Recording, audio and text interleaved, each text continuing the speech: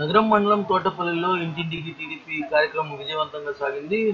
TDP MLA Anagani Satyaprasad నేతృత్వంలో ఈ కార్యక్రమం సాగింది.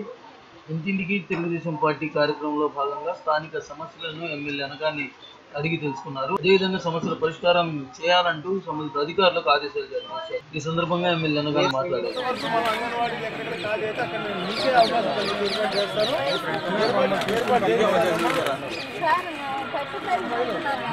మన అంగన్వాడీలు దాంట్లో అప్లికేషన్ ఏర్పాటు చేస్తున్నాము సెంట్రల్ గవర్నమెంట్ ఏడేడు ఏది న్యూట్రిషన్ పోస్ట్ స్టేట్ మొత్తం లేవు ఇవి. కొన్ని ప్రాంతాలు మాత్రం ప్రకాశం జిల్లా కొంత కొన్ని ప్రాంతాలు నమస్కారం ఈరోజు ఇంటింటికి తెలుగుదేశంలో భాగంగా నగర మండలంలోని జిల్లేపల్లి తోటపల్లి పంచాయతీ జరుగుతూ ఉంది మరి ముఖ్యంగా ఏంటంటే చంద్రబాబు నాయుడు గారు మూడు సంవత్సరాల్లో విభజన జరిగిన ఆంధ్ర రాష్ట్రంలో చేసిన అభివృద్ధి గురించి అందరికీ తెలియజేయడం ఇంకేమైనా ముఖ్యంగా సమస్యలు ఏమైనా ఉంటే అవి పరిష్కరించే లక్ష్యంగా ఈ కార్యక్రమం చేస్తారు ప్రతి సంవత్సరం కూడా ఒక డిసిప్లిన్ పార్టీ కాబట్టి ప్రతి సంవత్సరం కూడా ప్రభుత్వం వచ్చిన తర్వాత చరిత్రలో ఎవరు రాని విధంగా సంవత్సరానికి రెండు సార్లు ప్రజల్లోకి వెళ్ళి వాళ్ళ సమస్యలు తెలుసుకుని మనం వెంటనే పరిష్కరించుకుని జన్మభూమి కార్యక్రమాలు అన్నీ కూడా వాళ్ళకి ఇవ్వడం జరుగుతూ ఉంది. దాంట్లో భాగంగా ఈరోజు ఈ ప్రాంతంలో ముఖ్యంగా చూస్తే కొన్ని హౌసింగ్ ప్రాబ్లమ్స్ కొన్ని చెప్పారు. అవన్నీ కూడా నోట్ చేసుకుని ఇమీడియట్గా హౌసింగ్ అధికారులకు కూడా తెలియజేసి వాటిని పరిష్కరించే మార్గం కూడా తప్పకుండా వెంటనే చేసి వాళ్ళకి పిలిచి కూడా వచ్చే ఏర్పాటు చేస్తాము.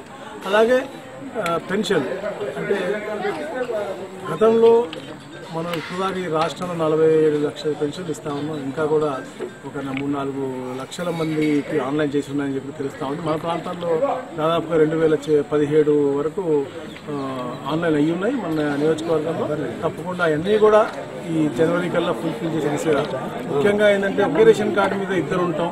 ఆ ఒకళ్ళే రేషన్ కార్డుకి ఒకళ్ళు ఎలిజిబుల్ అవటం మూలంగా అలాంటివి అలాగే హస్బెండ్స్ చనిపోయిన చాలా రోజులు కూడా వాళ్ళకి డెత్ సర్టిఫికేట్ లేకపోవడం ఇలాంటి కొన్ని అంశాల వారిగా వాళ్ళకి ఇంతకుముందు వాళ్ళకి అర్హత కోల్పోయేటువంటి పరిస్థితి కనపడతా ఉంది.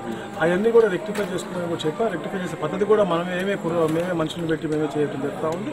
దాంతో దాంతోపాటు చంద్రన్న బీమా అయితే అద్భుతమైన పథకం ఉందో అవన్నీ కూడా తెలియజేసుకుంటూ ఆ రెన్యువల్ చేసుకోమని చెప్పేసి లేకపోతే లేని పక్షంలో కూడా పదిహేను రూపాయలు కొత్తగా కట్టి కట్టి జాయిన్ చేసే విధంగా. ఎవరైనా కట్టుకొని లేని వాళ్ళు ఉంటే కూడా తప్పకుండా తెలుగుదేశం పార్టీయే ఆ పదిహేను రూపాయలు కూడా కట్టి చిన్న బీమాలో జాయిన్ చేసే పద్ధతి కూడా ఏర్పాటు చేశారు. తప్పకుండా ఆ దిశగా అన్నీ కూడా నిర్ణయం చేసుకుంటూ ఈ రాష్ట్రంలో జరుగుతున్నటువంటి అభివృద్ధి మరీ ముఖ్యంగా రేపల్లో మన వరకు జరుగుతున్నటువంటి అభివృద్ధి కూడా క్షేత్రస్థాయిలో వాటి మీద డిస్కస్ చేసి పని ముఖ్యంగా ఏదైతే వైఎస్ఆర్సీపీ వాళ్ళు గతంలో విమర్శించారు ఈ పట్టిసీమ వేస్ట్ అని.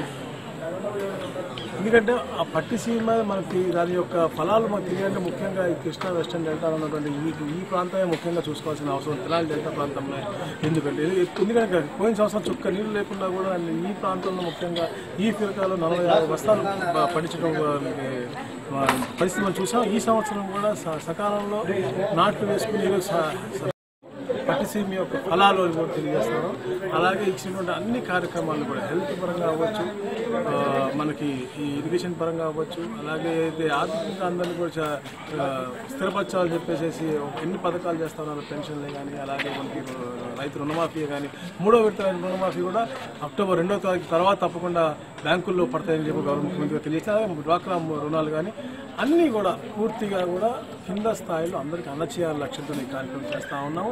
రాబోయే రోజుల్లో ఏదైతే మేనిఫెస్టోలో పెండింగ్ ఉన్నాయో అన్నీ కూడా పూర్తిగా హండ్రెడ్ పర్సెంట్ కూడా ఇచ్చే తప్పకుండా చేస్తామని చెప్పి గౌరవ ముఖ్యమంత్రి గారు తెలియజేయడం జరిగింది. నిరుద్యోగ వృత్తిపైన కూడా డిస్కస్ చేస్తాను. అది కూడా తప్పకుండా యువతకి ఎందుకంటే పెద్ద పెద్ద ఎత్తున యువత ఉపాధి కల్పించాలనే లక్ష్యంతో ఎన్నో ఇంటర్నేషనల్ కంపెనీస్ కూడా వస్తూ ఉన్నాయి. మనం చూస్తాం నిన్న కూడా అపోలో టైర్స్ వాళ్ళు కూడా సీసీటీలో వచ్చారు నూతనంగా. అట్లా ఎన్నో కంపెనీలు మనకు వస్తాను రోజు కూడా వస్తాయి తద్వారా యువతకు మంచి ఉపాధి కల్పించాలా? అలాగే మనకు కూడా కోస్టల్ ఏరియా ఎక్కువ ఉంది కాబట్టి ఆక్వా రంగంతో పాటు యువతకు కూడా ఉపాధి కల్పించే దిశగా ఇండస్ట్రీస్ రావాలని చెప్పేసి మనం కూడా ప్రయత్నం చేస్తాము. అవన్నీ కూడా అందరికీ చైతన్యపరచాలి ఎందుకంటే ఇక్కడ యువత ఎంతో మంది ఖాళీగా ఉన్నారు కానీ వారికి ఉద్యోగ అవకాశాల గురించి కూడా తెలియని విషయాలు ఉన్నటువంటి పరిస్థితి మనం చూస్తాం వాళ్ళంతా కూడా చైతన్యపరిచే కూడా మనం ఈ యొక్క జాబ్ మేళాలు కూడా ఏర్పాటు చేస్తా ఉన్నాం. అవన్నీ కూడా అవగాహన దిశగా ఈ కార్యకర్తలు కూడా పనిచేయాలని చెప్పుకుంటారు